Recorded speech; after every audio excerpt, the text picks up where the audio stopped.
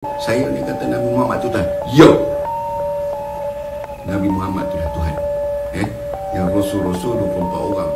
Jabatan Agama, Islam Melaka ataupun JAIM melalui bahagian penguatkuasa syariah telah pun menangkap seorang individu yang merupakan pengikut ajaran sesat yang dibawa oleh Suhaini bin Muhammad eh, iaitu pengeluar minuman uh, kesihatan kesihatan pada 11 Jun 2023 bersamaan hari Ahad jam 8.30 malam di daerah Jasin Melaka.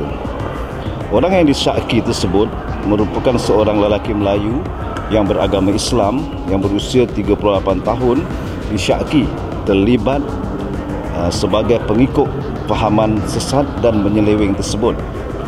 Hasil daripada soal siasat yang dijalankan, orang yang disyaki dijadual akan berangkat ke New Zealand bersama isteri dan tiga orang anaknya pada 13 uh, Jun 2023 dipercayai untuk bersama-sama dengan pengasas dan ahli-ahli kumpulan berkenaan yang telah terlebih dahulu berada di New Zealand.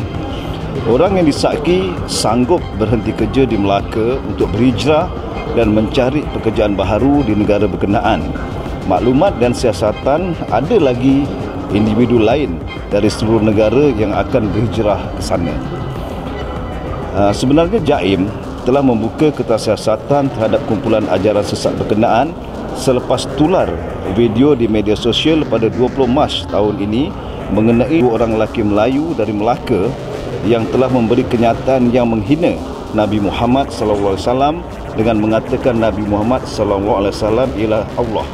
Mesyuarat Jawatankuasa Fatwa Negeri Melaka bilangan 2 2023 pada 30 Mei 2023 memutuskan bahawa fahaman yang dibawa oleh Suhaini bin Muhammad adalah sesat dan menyeleweng daripada ajaran Islam berdasarkan akidah ahli sunnah wal jamaah.